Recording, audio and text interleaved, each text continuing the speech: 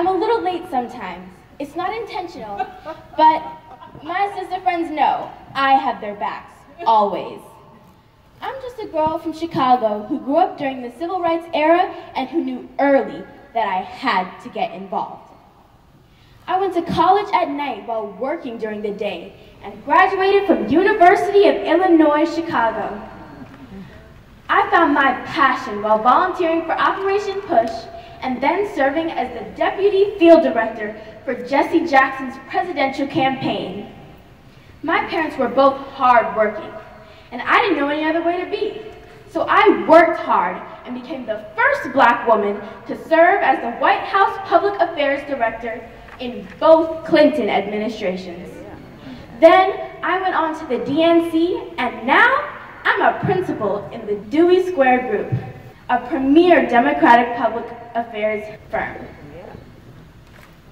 I've had some amazing opportunities in my life, but writing this book with my sister friends is at the top of the list.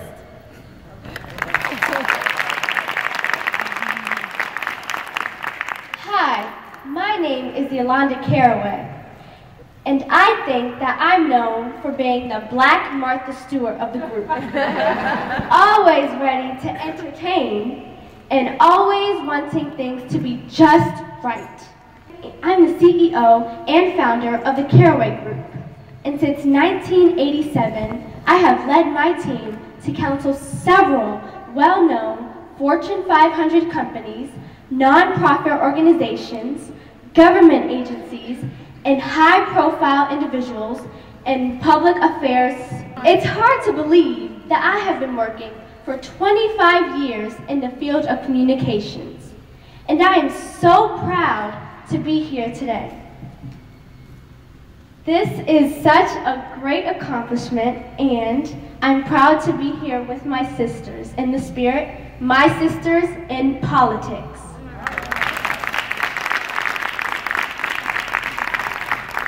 I am Reverend Leah D. Daughtry, pastor of the House of the Lord Church in Washington, D.C.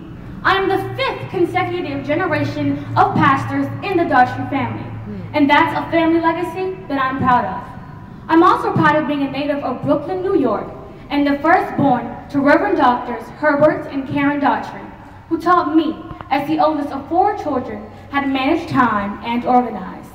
I create calm out of chaos. That is my God-given gift. I started my political career on Capitol Hill, followed by a position at the Democratic National Committee. While at DNC, I met and was mentored by then Chief of Staff, Alexis Herman. I later joined her in the Labor Department when she later became the U.S. Secretary of Labor. I had the honor of serving as Chief Executive Officer for the Barack Obama and Hillary Clinton conventions. Be fooled by my serious political work. I love my sister friends as much as I love my shoes.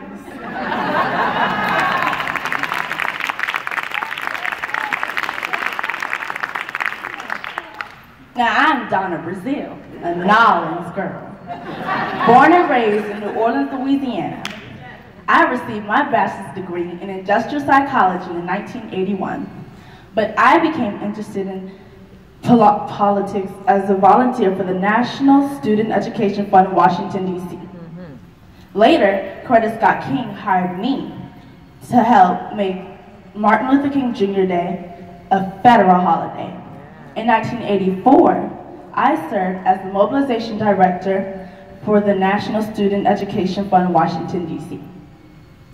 I've had some exciting assignments in my life, from Chief of Staff and Press Secretary for Congresswoman Eleanor Holmes Norton to serving as interim chair for the DNC in 2011 and again in 2016. My life on politics has been played out live on CNN, ABC, and even Fox News. You've probably seen me a few times on television. But right now, I'm with my sister friends, making sure everyone gets a copy of our book, For Color Girls Who Have Considered Politics. We are the colored girls who have considered politics.